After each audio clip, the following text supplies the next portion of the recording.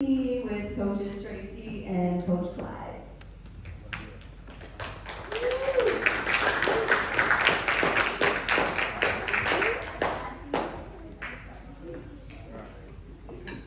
My third graders, man, super proud of y'all. Y'all homegrown. Y'all didn't have a team at first. A lot of y'all, Isaiah, Gabe, you know, we had y'all as first and second graders playing up with third and fourth graders. So y'all get your own team, man. So y'all came a long way. This team is really grown. They did a lot. They did a lot. You know, that second grade year, y'all went undefeated. Yep. Third grade year, didn't come out like we wanted to. Hey, y'all worked. Y'all worked.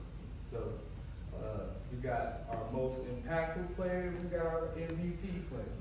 All right? So I'm gonna start off by introducing the whole team. All right? And then we're gonna introduce the Mr. Impactful, and then we're gonna do MVP. All right?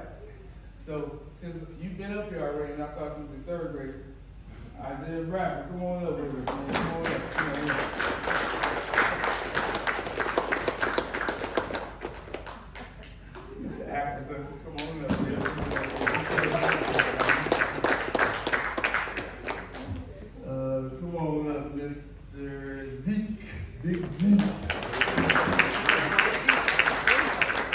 Thank you.